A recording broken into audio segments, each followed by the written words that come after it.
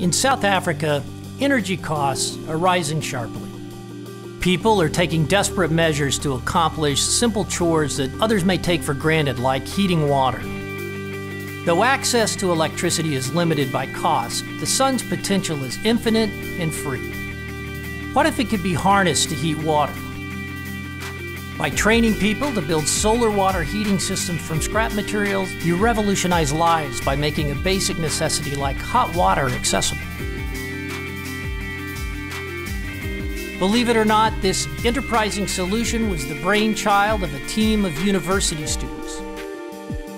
As members of Enactus, these entrepreneurial students transformed discarded resources into a sustainable business model that's relieving pressure on people's wallets and cleaning up their community. By seizing opportunity, Enactus students are paving the way to a better tomorrow for us all. To become a member, visit enactus.org.